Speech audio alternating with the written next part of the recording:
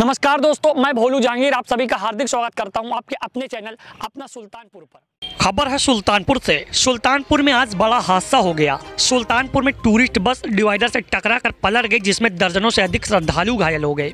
आपको हम बता दें कि सुल्तानपुर के टाटिया नगर चौराहे के पास प्रयागराज अयोध्या एनएच पर बड़ा हादसा हुआ है।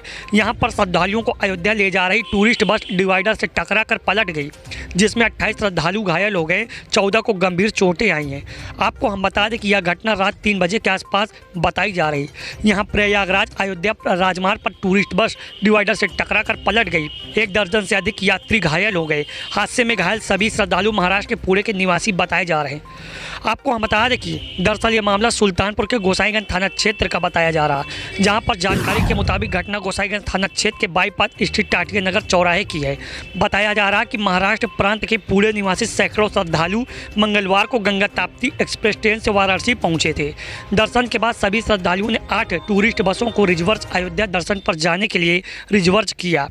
यहाँ एक साथ सभी टूरिस्ट बसें श्रद्धालु को लेकर अयोध्या दर्शन के लिए निकल पड़ी। स्थानीय लोगों के मुताबिक श्रद्धालुओं को ले जा रही बसों में, बेड़े में भोलेनाथ टूरिस्ट कोच सभी बस के शामिल थे। आपको हम बता दें कि जो तीन बजे के आसपास गोसाईगंज थाना क्षेत्र के टाटिया नगर बाईपास चौराहे पर पहुँची एकाएक बस राजमार्ग पर डिवाइडर से टकरा गई और चढ़ गई, जाकर अनियंत्रित होकर सड़क पर पलट गई, जिसमें बस में सवार अट्ठाईस श्रद्धालु घायल हो गए। जिसमें आपको बता दें कि चौदह श्रद्धालुओं को गंभीर चोटें आई हैं, सभी को इलाज के लिए जिला अस्पताल में लाया गया, जहाँ से तीन श्रद्धालुओं को लखनऊ ट्रामा सेंटर रेफर कर दिया गया। बस पर कुल अड़तालीस श्रद्धालु सवार थे। चलिए आपको दिखाते हैं report. Bureau report, Bholu Jahangir, अपना सुल्तानपुर न्यूज़। आज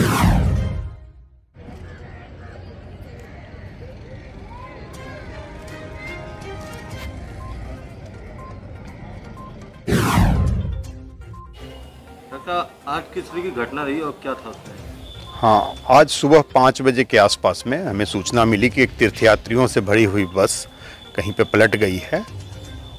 हमने यहाँ पर टीम को अलर्ट कर दिया। हमारे सारे फार्मासिस्ट, चिकित्सकों की टीम दवाइयों को उपलब्धता सुनिश्चित करते हुए हम लोग इंतज़ार किए। लगभग 24 मरीज़ घायल यात्री आए जो महाराष्ट्र के थे, जिसमें 10 तो ओपीडी बेसिस पर थे, साधारण चोटें थीं। चौदह लोगों को हम लोगों को भर्ती करना पड़ा। उन्हें भी बहुत खास चोट नहीं लगी है। चार मरीज़ गंभीर थे, जिनको यहाँ से वाराणसी के लिए रेफ़र किया गया। हम लोग पहले लखनऊ भेज रहे थे, किंतु उनको सुविधा थी वाराणसी के लिए। तो बी वाराणसी के लिए ले गए। बाकी दस मरीज़ हमारे यहाँ पर एडमिट हैं वो सुरक्षित हैं और उनके खाने पीने का भी हम लोग व्यवस्था कर दिए हैं। सारे जाँच करके शाम तक हो सकता है इनकी भी हम लोग छुट्टी कर दें। यात्री कहाँ से कहाँ जा रहे थे? क्या इसमें किसी गंभीर हालत थी वो? नहीं कोई गंभीर नहीं थी। वाराणसी से अयोध्या जा रहे थे दर्शन के लिए। महाराष्ट्र के यात्री थे मुख्यतः। इसमें जो पाँच यहाँ से रेफर हुए हैं बनारस के लिए उनकी स्थिति थोड़ी गंभीर थी।